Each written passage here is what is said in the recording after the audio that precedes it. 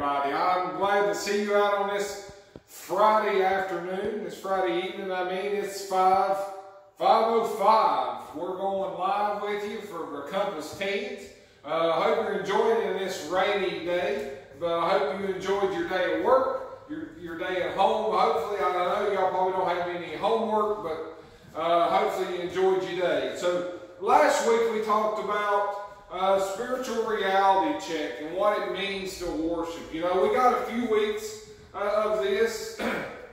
We're going to talk about the spiritual reality check and what it means to, to worship and, and stuff. So let's first go off into the Lord in prayer, then we'll go into a little devotion. It's not going to be very long. It's just a little reality check for you, you know, something that we can do. So uh, dear Heavenly Father, Lord, we thank you for the opportunity to come here today. Lord, we thank you uh, just to be together, Lord. For the ones who are watching, I hope that you put a hedge of protection and watch out over them and guide them, Lord Jesus. Be with them, Lord. Open their hearts and minds, Lord. Not only do I, I pray, Lord, right now for you to give Trish and I the, the, the, words and wisdom, Lord, to speak your word, Lord, to teach your word and to be able to do it justice, Lord Jesus. We cannot do it without you and only you only, Lord Jesus, and we thank you. In Jesus' holy name, amen. So, we talked last week what it means to, to worship and, and, and how we do things. And you know, we didn't get into many examples, but for us that know Trish or know uh, the, the people who, who worship, you know, we come here on Sundays, we sometimes don't come expecting, you know, but Trish, she comes expecting every Sunday. And I, I, I need, I value her praise because I, I, not that I mimic it, but I try to tag off of her. I try to tag off her feelings. So, when, whenever she's raising her hands and shouting the hallelujah or hallelujah, uh, we, we need to not mimic her, but we need to sometimes praise God through the storm. You know, I come in here sometimes on Sundays and not, not come expecting just going through the motions. And, well, they, they say it whenever uh, if you get into the service what you put into it, or you get out of the service what you put into it. It's, it's not necessary you just sitting there and wait for God to move. Sometimes you got to, to step up and step out in, in faith. So, so when, when we ask uh, Trish why, you know, it's because she understands what God has done for her. You know, whether it be the fears of, of being uh, by herself or, or in a lonely place uh, or, or in church, you know, she realizes what God has done for her and how He has provided for her. And and even at home, whenever she does stuff, you know, she prays to God for His guidance and, and, and, and for security and, and, stuff. So she knows what God has done. And, and, God has answered those prayers with, with the fear and things of being alone, and, and it calms her heart and mind. Uh, so uh, she knows that. And even on, on her worst days, when she doesn't feel like praising God, she says, I'm going to praise Him anyway. You know, sometimes, just like we just said, you got to praise Him through the storm. Sometimes, I don't like the term, but you fake it till you make it, you know. But you really can't fake it with the Lord because the Lord knows everything. You know, He knows if you're in a good mood or a bad mood uh, or, or, whatever you're going through. Uh, to, to do, whether you're overwhelmed, whether you have insecurities or not. So sometimes you do have to praise Him through the storm to get on the other side. Uh, you know, we talked about, uh, you know, when, when Jesus died on the cross for our sins, you know, He didn't deserve the death, death penalty. You know, it was ours. Uh, we deserved the death penalty and what we did. So when, when, when we think about that, we need to praise Jesus. You know, it doesn't come lightly that we think about when Jesus died on the cross. Uh, but whenever we go to praise Him, you know, sometimes when we go up to the altar, um, when the Lord moved this past Sunday, just like we prayed about the, the, the, the following Friday, the, the Lord showed up. Uh, he wasn't a magnificent service. It, it was just extravagant. Um, just the, the, the, the outpouring of worship and music uh, this played and, and, and, we just worshiped God the, right where we were. And, and but you, you ask yourself, can it be embarrassing? Sometimes, you know, when you step out in front of a crowd, sometimes, you know, it's not that easy. It's not to be the first one out there or the first one out in front of a crowd because it makes you feel uneasy, uncomfortable. Uh, but I know sometimes uh, that, that I may look like a fool standing up or, or jumping up out of my seat and shouting amen. But when you totally give yourself over to God, you do things that you don't necessarily worry about. You know, you kind of get it out of your mind. You you don't think about it. Well, you know, it's kind of like when we're at Giles High School football game and the Spartans are doing what they do and win. Well, yeah, when they win.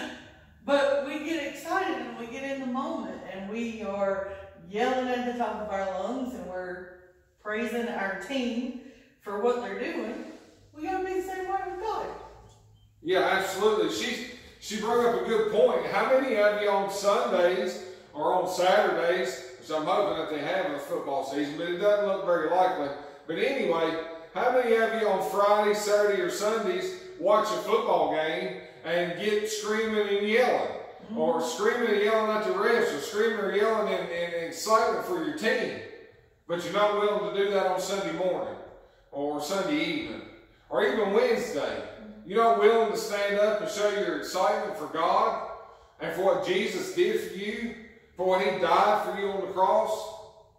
So, not only that, but you know, when when, when Trish was growing up, she used to sit back as a teenager and, look at people dancing in the spirit and shouting and, and you know, she'd probably laugh. Oh, I did laugh. I laughed a lot. But then she experienced God's power and the Holy Ghost. And after that, well, to her, it doesn't matter what she looks like. It doesn't matter if you go out and dance in the Spirit uh, or sing in tongues or anything like that. Uh, it's an honor for the Holy Ghost to and come over your body like that. It's just a whole new experience. It's like uh, Say you're like being on a basketball court or a softball field or a football field. When you go out for your team, you you do what? You go all out. You do give a hundred percent, and and that's what God is asking from us, just to give our all to Him, not just a little bit. He already knows what you're going through. You know, uh, just like today, you know, we had several things we had to do today, and I felt overwhelmed. And but we had prayer in a vehicle uh, coming over here. Uh, at first, everything didn't work out, but at, at the end of the day, uh, we, we accomplished what we needed to do. And we're here today still teaching you this, this lesson. And we're going to talk about worshiping God and, and what it means to us. So let's think about it this way. So there's a person in church uh, that made the comment the other day that they said uh, that they would love for, for the Holy Spirit to get in their feet and run and dance before the Lord. And sometimes they get that feeling and think, I need to walk up front and praise the Lord during praise and worship, but they stop. But they wonder what other people will think. Well, how many of you go to church and do the same thing. You know, we're, in that person's footsteps. You know, we wonder, what if we got up there or somebody looking at us, if we looked at us the wrong way or how we did things. You know, I think about it this way. I mean, this is just my opinion, but as adults, we do the same thing. The teenagers are no different. But, you know, as adults, we sit there and we might think, hmm, I should probably go to the altar. But then, what, what do we do? In our mind, we're like, what's Rick going to think if I go up to the altar? What's Rick going to do? He going to make fun of me because I went up to the altar? To me, we shouldn't be that way at all. We should say, okay, God, you want me to go to the altar? My hind end better get to the altar because if God's telling you to do something, you never know y- yeah, you might have people look at you, you might have people make fun of you. Doesn't matter. If you're doing what God says, what's not to say that I'm not sitting at, well, let's just say I'm on the praise team and I'm singing, and what's not to say that God doesn't say, okay, church, you got to raise your hand. You got to worship the Lord. You have to worship me. And what if I sit there and I say, okay, God, I hear you. Well, what's Rick going to think? Or what's Levi going to think? But what if what's really happening is God is using me because maybe Levi's sitting there going, if Trish raises her hand, I'm going to raise my hand. If Trish raises her hand, I'm going to the altar. But if I don't listen to God and I don't obey what God's saying to me, then not only am I hurting myself and missing out on the blessing, I could be affecting what Levi needs. Yeah, absolutely. Just like this past Sunday, we was singing a song and we sang it probably two or three times. Well, I didn't sing it. They they, they sang it. Martin sang it, and they kept playing and playing. And I'm like, the Lord's telling me to go to the altar, and and I just sit there and. And I still held my guitar and I just sit there and we go through another song. And it's not a song that I actually play. It's not something I follow. So I'm just sitting there and just thinking, well, I should go to the altar. And then another time goes around and we sing the song again. And finally I said, Lord, this is it. I'm going to the altar. I, I don't know what your plans are. I don't know what you, you need from me. But I'm going to worship the Lord. So I went out there and I raised my hands and that's all I remember. Uh, it's this the, the, the, thought of the Lord being engulfed inside your body and inside your heart that sometimes you got to give way. You know, they say the Holy Ghost is, a gentleman. You know, he's not going to make you do anything that you don't want to do, but he sure will make you feel uncomfortable. That's right. Uh, you know, he's not going to make you shout if you don't want to shout. He's not going to make you run the aisles if you don't want to run the aisles. But he will put conviction on you. He, you know, it will make you feel a little different than what you normally would feel. Uh, but so, and, and, there's a reason for that. Your scripture. So in, in, in Luke 9 26, it goes like this. It says, For whoever is ashamed of me and my words, of him the Son of Man will be ashamed when he comes in his own glory, and in his Father's and of the holy angels. So what's that saying? You know, not only if you're ashamed of the Holy Spirit and the Lord Jesus, you'll also be ashamed of the things that you do in your own name, uh, the things that you do under your own conscience. Uh, so, and personally, I don't want God to be ashamed of me. I don't want Him to think, well, I'm ashamed of Rick. I'm sure He doesn't. I'm, I'm sure, even though I'm my own worst critic. So, but I'm I don't want him to be ashamed of me when it comes to worship. I don't want him to be ashamed of me when it comes to doing things. So, so the, the, the, the, the, the person that I just told you about, about worshiping, but the worship right now is a noun. Remember when we talked about being noun and a verb, there, there's no action in it. So whenever you worship the Lord, you're just sitting there and you're doing nothing, uh, that, that's a noun. You know, it's a, it has no action. And what we need to do, and not just y'all, but, but us too, uh, Rick and Trish, uh, uh, we need to worship and put it in a verb. We need to put action, put action on it. So, so Trisha, really, there's an example. You know, if anybody that, that does the, the, the paracord bracelets or makes stuff out of paracords, just if if you just had the paracord it's just rope. You know, it's nothing together. But those, it's two different colors on this bracelet. Uh, whenever they're not one strand or two different strands, in order to put them together, you have to connect them somehow. You have to melt them and bind them together. And that's where God comes into play. That's where things start to get interesting. That's before you weave it and knit it into a bracelet or into a necklace or into something that you want.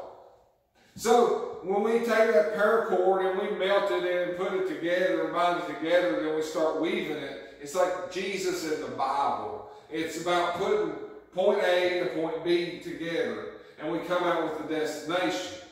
The, the, the Bible is our guidance. It is our roadmap uh, for what we do and how we perceive things. So God binds us all together. He, if we add God to ourselves and let Him guide us, then look what happens. He knits us and fits us together. He puts us to where we want to know, to, to where we need to be. But the rope by itself can't do anything. But the rope, when molded like God molds us, well, it's something that we can be. It's something that we can show off. Our worship can change our situations. Our worship can, uh, our participation at church can change who we are.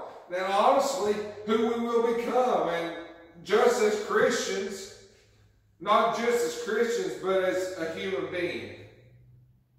You know, when we praise something, if we have positivity, uh, Trish will tell you I'm probably one of the world's worst in negativity. Uh, but she as is a great example, and I lean on her tremendously in the Word of God for positivity, uh, for, for, for guidance, for things. You know, when, when the day seems glim or grim and, and, and bleak, it doesn't seem right, but I'll, I'll, I'll start reading the Bible and I'll look and see how Trish is doing, and she's got a smile on her face. It brightens up my day. It makes me feel a little bit better. So and then when we go to worship, when we change our attitude from what we was to now, like I had a bad day today. The things that we've had to do overwhelm me. But sitting here right now, I'm changing my attitude. We come here to praise God. We're in church right now. Even though it's Friday, it's not a Wednesday, it's not a Sunday. It's Friday. But we're doing God's work, and you're doing God's work by watching. And hopefully you're following along. And that is God's work. That is what we do. We worship God. It doesn't matter if it's on a Wednesday or a Sunday. It doesn't matter if it's a Sunday morning or Sunday night. Any day that ends in Y should be a day we worship God. It should be a day that we praise the Lord. Uh, in Psalms 151 and 6, it says, Praise the Lord, praise God in his sanctuary, praise him in his mighty firmament. Praise him for his mighty acts. Praise him according to his excellent greatness. Praise him with the sound of the trumpet. Praise him with the lute and harp. Praise him with the timbrel and dance. Praise him with stringed instruments and flutes. Praise him with loud cymbals. Praise him with clashing cymbals. Let everything that has breath praise the Lord. Praise the Lord. Now here's the thing. Verse 6 says it by itself. We didn't need nothing else. It says, let everything that has breath praise the Lord. It doesn't say if you feel like it. It doesn't say if you if you already have everything. It says if you have breath, whether it's good or bad things that's happening in your life, praise the Lord. So by praising the Lord and by being active in participation at church through worship, we actually are changing the outcome of how things could go for us. Just like Trish stated before. What if what what if I was sitting in the pew and I'm just sitting there and I'm doing nothing, but there's somebody watching me? And you're thinking, well, that's not nice. It's not nice for somebody to watch me. But the, the Holy Ghost is on in, you know, they're convicted in, but they're saying, well, if Fripp gets up and moves today, I'm going up there. That's. I'm not going up there by myself, but if one more person goes up there, I'm going up there. Mm-hmm. So what you do, you step out of your seat, and the Lord says, go up there, and you go up there to the altar, and they say, you know, you have a hand on your shoulder. And that person's praying with you. You know, it just takes one step. You know, you might be the, the guidance. You know, like Trish holds my positivity. You know, she is the glue that holds uh, our family together in our house, you know, for positivity. I look for her for her guidance in that. Now, I read the Bible every day, but still I have down days. But I look for her for her positivity. to change my attitude because I have a terrible attitude. But you know, there's there's this magnificent scripture, and and we got to seek the Lord. You know, whether it's bad or good. So Matthew seven, verse seven and eight says. Ask and it will be given to you. Seek and you will find. Knock and it will be opened to you.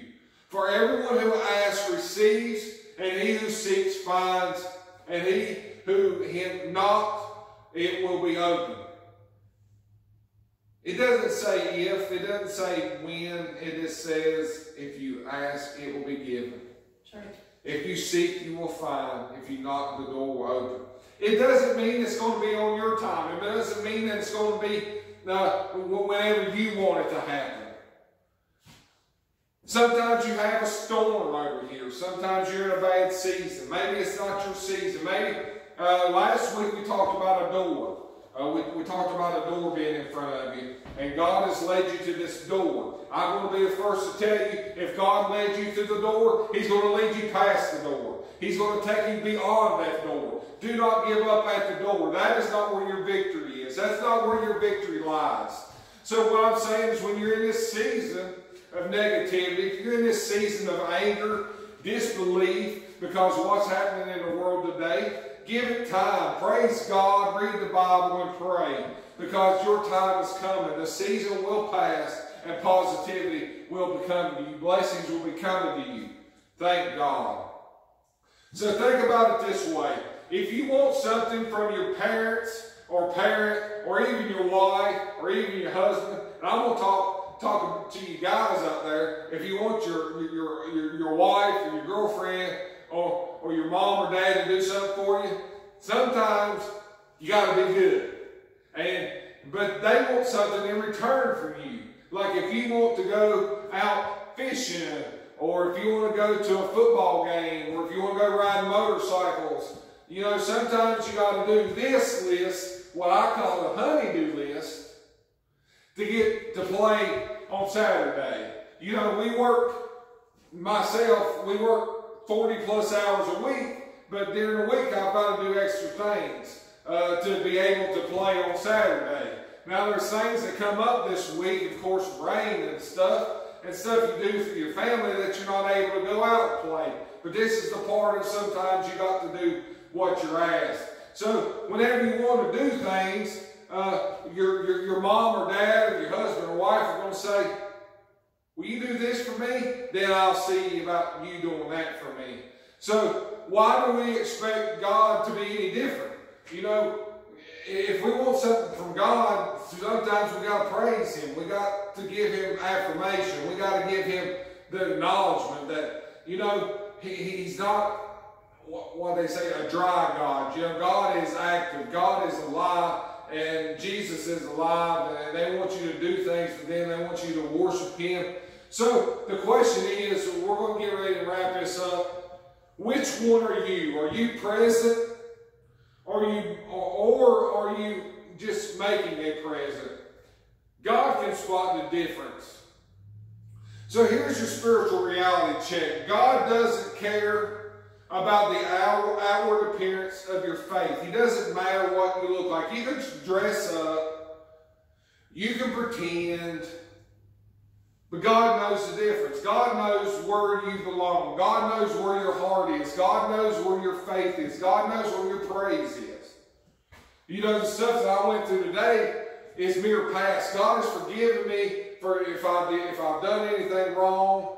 But God sees where my heart is today. And He sees where it is right now. And I want to praise God. I want you to see me praising God. And that's where we're going to go. You know, we're just going to thank Him and we're going to worship Him, and we're just going to praise Him for everything He's done. So, so he, he says, what's really going on deep down inside of you? What's motivating you to be where you are today?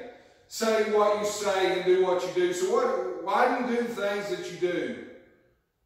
So if it's not all about Him, if it's not all about God, if it's more about obligation or socializing rather than growing in His Word and in the service to His kingdom, then it's not all He wants. So when you go to church, be active. When you go to your, your Wednesday night Bible study, be active. You know, show show the pastor, show God that you want to be involved. Uh, have a voice. Uh, when you're in youth group, uh, whoever's watching Teen Wise, if you're in youth group, be, be interactive. Uh, we'll have a conversation. You're learning. I'm learning. Trish is learning. You know, we learn from each other. You know, we're not here as know-it-alls. God gives us the words. God gives us the, the ability to do this. The study and the stuff that we do, the lessons that we got, yes, it's all on paper, but 50 or 75% of the stuff I just told you is not even on this paper. Because God gave me the words. Sure. Not, not that I cannot do anything without God. Sure. So to end this, we're going to say scripture, Psalms 51, 16 and 17, it says, For you do not deserve sacrifice, or else I would give it. You do not delight in burnt offerings. The sacrifices of God are a broken spirit, a broken and contrite heart. These, O God, you will despise. You know, we thank you. We, we, we thank you for your, your, your time. I know was this a short lesson. I know it was, but it was a continuous from last week. Next week we're going to go into what we're going to call part two. It, we're going to have four parts. Uh, it, we may break them up to give you a little bit less of a lesson like we've been going into. Uh, but join us for, for church uh, this Sunday. You know, come expect Bring your praise face on. Bring your worshiping face on. If you're new, we're at 805 Anson Avenue, Pearisburg, Virginia, and we welcome you. We welcome you to this church. And God welcomes you, you to this church. And if you want us to pray for you, put it in the comment box. Or give us a way that we can get in touch with you. You know, we would love to pray for you. We even pray with you. Anything that we can do, just like we pray over this box. And that's what we're going to do now. And here's the thing with this spiritual reality check that we're on. Last week, we challenged you guys to start praying today for Sunday service. I firmly believe in my heart that because of those prayers that you started on Friday and you did on Saturday, when you come into church on Sunday, you were ready to worship. And because we were ready and we didn't have to get ready to worship, God showed up. And just like he showed up Sunday, he'll show up again this Sunday. So we got to come prepared. So let's prepare again. Not only for God to show up, but let's pray for one another. You know, in this trying time, whether it be political or the COVID-19 or or whatever your dis distractions are, whatever you do that takes you away from God, that takes you away from the church. Let's pray for God to put that away. Let's pray, come expecting for God to show up again. You know, He showed up today. You may not think about it, but I got a little loud. I mean, I felt God in this place. I mean, He, he was here. Uh, it doesn't matter whether it's Sunday or Wednesday. We come worship the Lord wherever and whenever we are. So let's pray.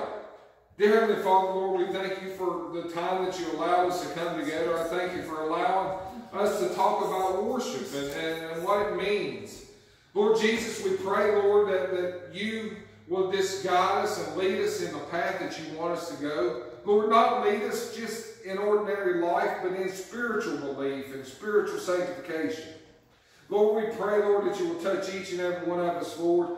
And, I know that church is just a building, Lord Jesus, but when we congregate on Sunday, we just pray for an outpouring of your blessings, Lord Jesus. Lord Jesus, over everything that is in this box, every note, every word, Lord Jesus, I pray, Lord, that you watch out over us and guide us. Lord, touch these needs and wants, Lord, as you see fit and in your time, Lord. We thank you for every word that you gave us today. We thank you for the power and the glory that is in you. We thank you for the power and the glory that you have passed down upon us. Lord Jesus, we thank you for everything. And I praise you right now. I praise you, Lord Jesus. I praise you, Lord. We are not worthy, Lord, and without you, we are nothing. We love you, Lord Jesus. In Jesus' holy name we ask and pray. Amen. Amen. Thank you, Lord Jesus.